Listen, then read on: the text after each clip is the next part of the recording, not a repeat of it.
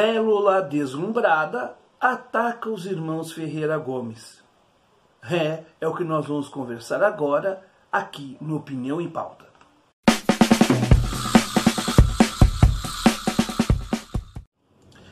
Bom, meus amigos, antes de mais nada, deixe o seu like, seu, né, seu comentário depois no final, uh, inscreva-se, aperte o botãozinho do sininho, enfim, né, vamos aumentar aqui o nosso raio de alcance, gente possa né, efetivamente uh, lutar contra este fascismo cultural que se instalou ou estão tentando instalar neste país.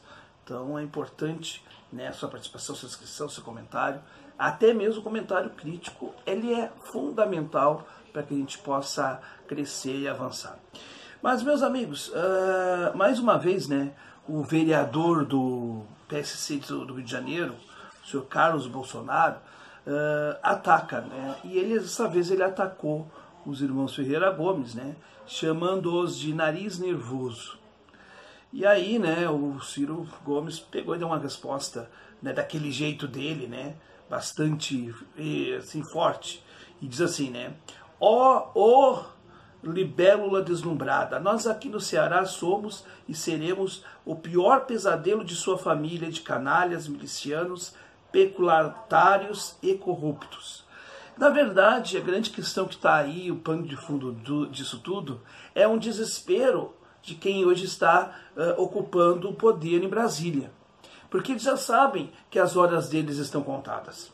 E o mais grave disso tudo é que eles já sabem que tem alguém que está batendo de frente de fato. Não é simplesmente um bater de frente na retórica, na tribuna, na Câmara ou no Senado.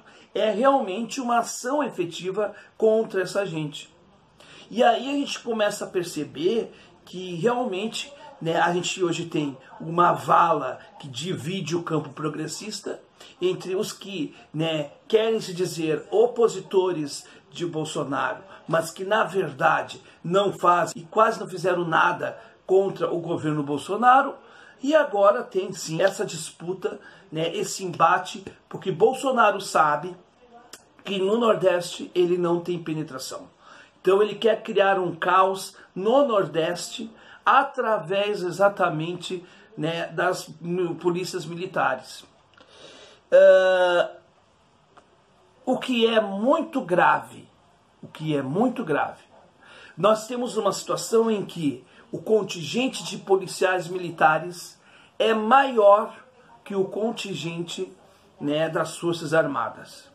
E essas forças unidas com o bolsonarismo realmente são danosas para a população, para o Brasil, por conta de que estes, estes aí vão estar a serviço dos interesses de um governo e não dos interesses da população. Portanto, temos que começar a fazer a cobrança devida da punição, por exemplo, de policiais ou supostos policiais que se mascaram e que tocam terror na cidade. Isso também não está certo. Se Cid teve um momento de excesso, esse momento de excesso ele se explica não pelo excesso em si, mas pelo contexto anterior. E aí a gente tem que entender a coisa como um contexto macro. É claro que ninguém aqui vai apoiar violência puramente, mas há momentos que a gente precisa ter uma ação mais forte. E esse momento chegou. Infelizmente, com esse tipo de gente, não tem como fazer diálogo. Porque o fascista mesmo, e esses que estão aí, são neofascistas, são sei lá o que, mas democratas eles não são, esta gente só entende a força.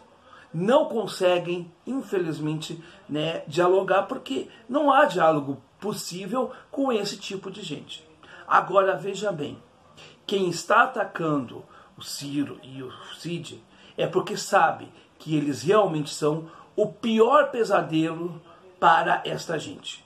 Com certeza, Bolsonaro sabe que se ele não seivar essa polarização com o PT, que é falsa, nós vamos, vai, vai haver uma polarização real e verdadeira, e está tendo na liderança de dois homens que têm uma penetração enorme no Nordeste, que pode não determinar uma vitória eleitoral, mas pode sim determinar a derrocada desse desgoverno. Portanto, os fatos ocorridos essa semana são cruciais para a derrocada de Bolsonaro, que já está cavando a sua disputa com o jornalismo, atacando mulheres, etc.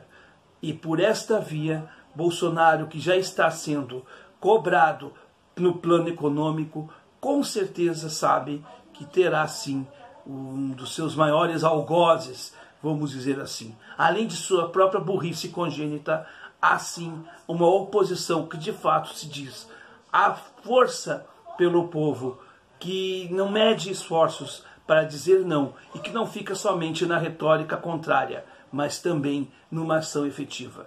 É o que o Brasil quer e muitas pessoas querem é ações efetivas. As palavras são importantes, mas a ação é mais ainda.